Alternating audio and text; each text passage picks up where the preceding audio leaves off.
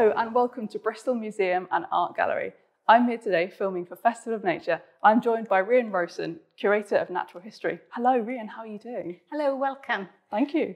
Museums are a little like icebergs. We only have a small fraction of the collection on display. We have much, much more.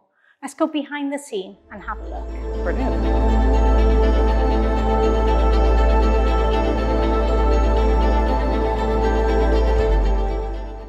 700,000 wildlife specimens that scientists from around the globe study.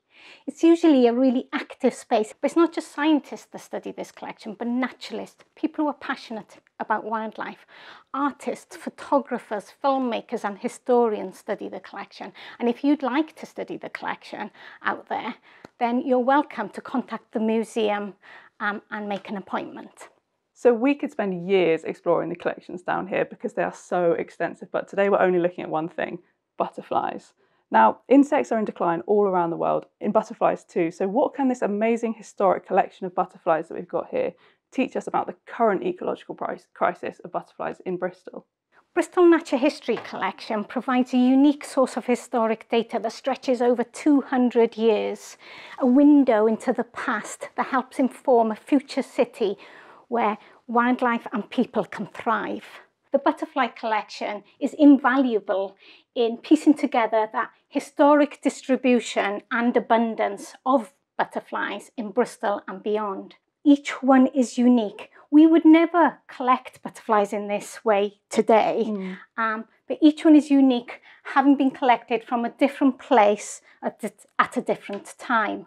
That um, provides clear avenues to understanding the general threats of biodiversity and pathways into conservation. Basically, we'll find specimens in the collection, for example, the marsh fritillary used to fly in Old Market Street regularly in 1850s. So what are the changes today to Old Market Street? Um, and can we kind of have a planned nature recovery network to bring it back? Because today the marsh fritillary is only in two sites in Bristol. So how have scientists and researchers been able to use the collection that you've got here? Basically, there's a project called Back to the Brink, and it's all about saving the most threatened species in England. Now, unfortunately, the checkered skipper went extinct in 1976. Gosh. However, they needed the data from all the museums and we provided information of the distribution and abundance of the checkered skipper. And so the data started from 1796 to 1976 when it went extinct. And hopefully with this information, it helps to understand why it went extinct in 1976.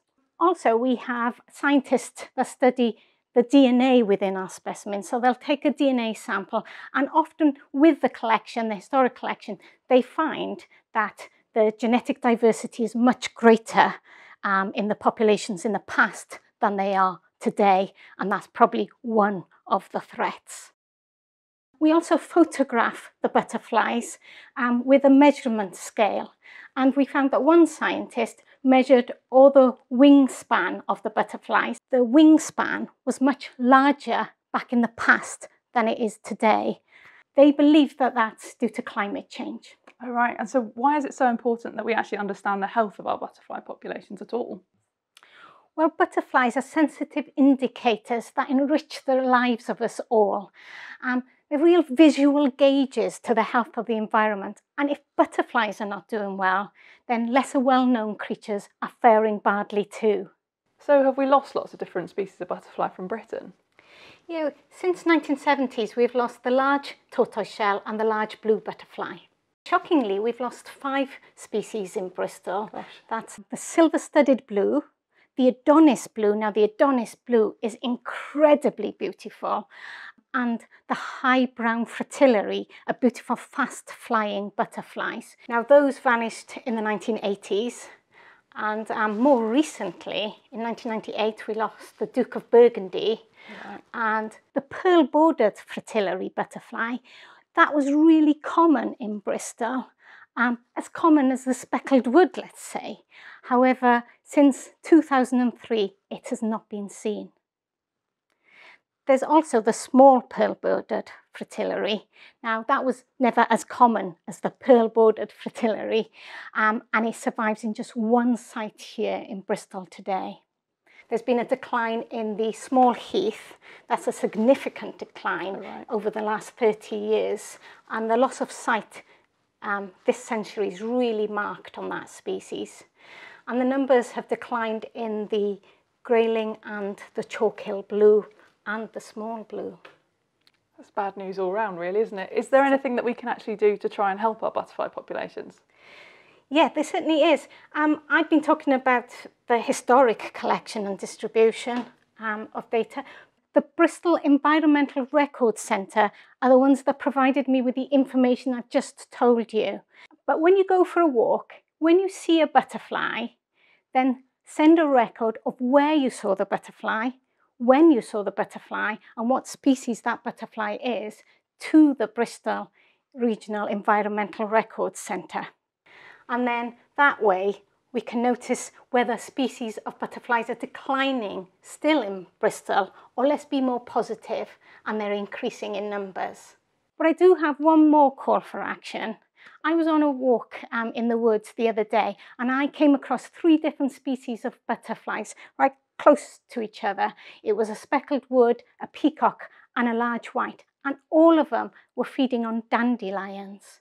So I'd love people to learn to love dandelions because butterflies definitely do. Well, I certainly won't be mowing any of the dandelions in my lawn and I'll be looking out for butterflies everywhere I go in Bristol. Thank you, Rhian, so much for showing me around the collection. And you can keep an eye out for all of the other films and content from Festival of Nature all through this week.